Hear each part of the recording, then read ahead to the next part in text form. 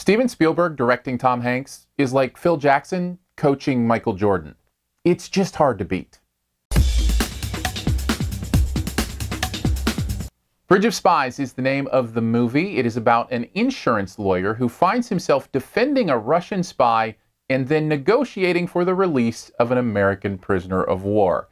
Yeah, he's thrown into it. It's directed by Steven Spielberg, stars Tom Hanks, and is written in part by the Coen brothers, which alone should make you salivate for this movie. But not always the best ingredients making the best meal, do they in this case? yeah, this is an incredible meal. These ingredients absolutely work. I loved this movie. A lot of that has to do with the incredible true story. To think of this man thrown into the position of defending one of the most hated people in America during the Cold War, a Russian spy, and then having to embrace that because he felt it was right is a truly amazing thing to think of. And the movie plays really well with those themes of making the choices you believe are right, even if the entire world is going to look down on you because of it. And it also deals with the redemption of those choices and how that works. And I just, I really loved the story and the themes. There's a lot of meat here right off the bat. Then you have Tom Hanks in the lead performance, who once again is brilliant. And this isn't one of those like scenery chewing performances.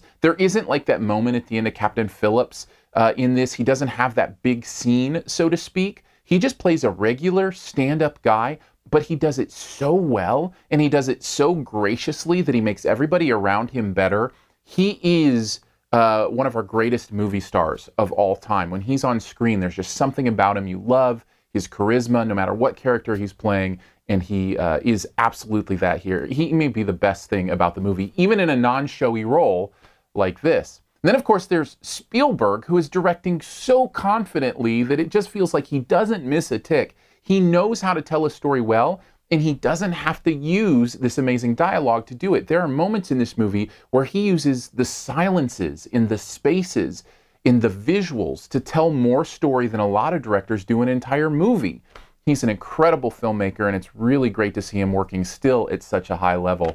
Yeah, I was really impressed with this movie. There were a few things, uh, just a couple things actually, that I guess you could take a few points away for. One is it is long, and you do feel that at points, but I think you keep with it enough that that's not uh, an overarching factor, just kind of a minor thing, the length.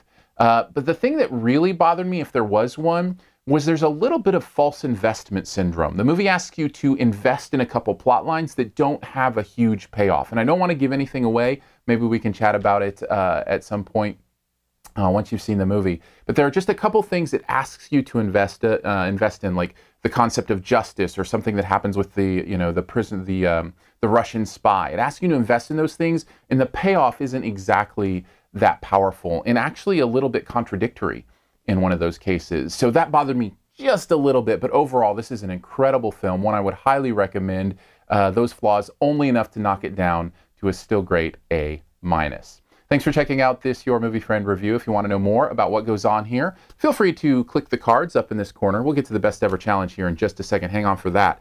But if you click up in the corner where the little eye is, the movie, uh, the video will keep going, and you can check out a link to the website, other videos that have happened here recently, how to donate to the channel, any of that stuff. I'd also highly encourage you to follow me on Periscope, Aaron Dicer, A A R O N D I C E R. Do a search in Periscope on the app. You'll find me there. Uh, when I come out of movies, I live stream my initial thoughts and take your comments. We have a great conversation. It's one of my favorite things to do. I'm really enjoying that. So uh, it makes Fridays so much fun because I see most of my movies on Friday. And then after I get out, I'll pop on Periscope and love the conversations I'm having there with you. Also, subscribe to the podcast, Sift Pop, S I F T P O P. It is the official podcast of Your Movie Friend. And uh, we're on live every Friday. And then, of course, in your iTunes or Stitcher feed after that. All right, here it is the best ever challenge where you name the best movie ever in a particular category.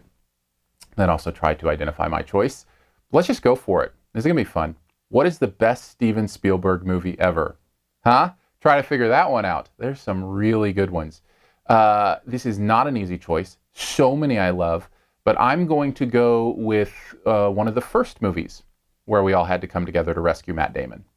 That would be my choice for best Spielberg movie ever. Take a guess at mine in the comments. Also, leave me your choice. And as always, here's five extra seconds to hit the subscribe button. It's right down here on the Your Movie Friend logo.